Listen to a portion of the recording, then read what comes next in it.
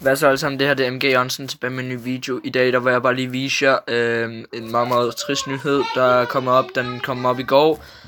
Øh, GameStop lukker officielt i...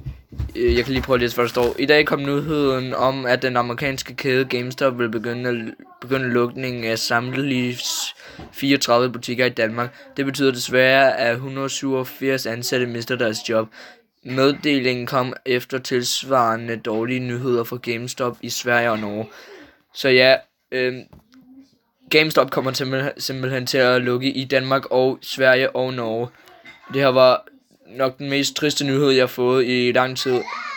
Øh, min far fortalte mig det i dag i morges. Det var en rigtig dårlig start på dagen. Øh, og det her, det, sådan her havde jeg det nogenlunde, da det var, jeg så det.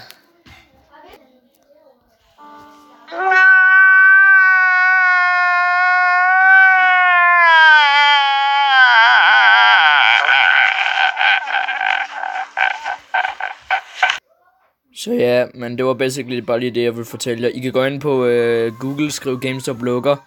Så øhm, det her det er rigtig trist for mig af en speciel grund, fordi jeg køber næsten al min gaming, alt mit gaming udstyr der. Øh, jeg køber min Funko Pops der, jeg køber mine controllers der, de fleste af mine spil køber jeg der. Øhm, ja, jeg ved sgu ikke ellers.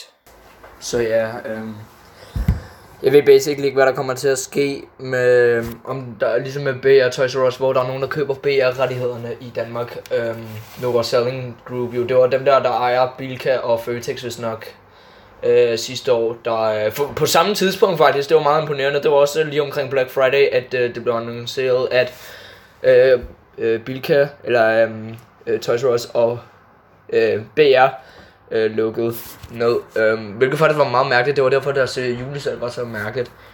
Øhm, men i hvert fald, I kan gå ind på Google og så læse mere om det. Jeg vil bare lige lave det, fordi at, øh, det her det kommer til at være en virkelig, virkelig stor ændring. I hvert fald for mig, fordi jeg har ønsket mig gavekort sådan, i forgårs til GameStop. Og jeg fandt først ud af det i dag, i morges. Øhm, det gør mig virkelig ked af det, fordi jeg elskede den butik. Jeg, jeg, jeg gætter vel bare på, at jeg var for sent om at opdage den. Jeg opdagede den for 3-4 år siden. Um, og lige sådan der, der har jeg været der og købt rigtig mange gaming-relaterede ting. Men så i hvert fald, jeg ved, jeg ved ikke... Uh, ja, jeg ved sgu ikke, hvad, der, hvad jeg skal gøre. Um, jeg vil i hvert fald bare lige lade være, jeg ved det. Jeg ved godt det. Jeg havde originalt tænkt mig at lægge en... Uh, hvad er det, det hedder? Øh, Black Friday video ud, men jeg synes sgu ikke, at det var noget, altså det var bare en vlog ligesom alle andre, men jeg har et lille bitte klip, en lille video, som jeg kan vise jer, hvis det er, I gerne absolut gerne vil have den. Så giv den her video 5 likes, og så, øh, eller 5 visninger, og så lægger jeg det lille bitte klip øh, ud for Black Friday. Det er ikke noget specielt, det, det skulle have været mere, men problemet er, at jeg skulle skrive frem og tilbage og ringe frem og tilbage for at vide, hvad for nogle gaver jeg skulle købe til hvilke personer, så det blev virkelig svært. Øh men i hvert fald, vi ses i næste video alle sammen. Uh, like og subscribe, og ellers så ses vi i næste video. Peace out.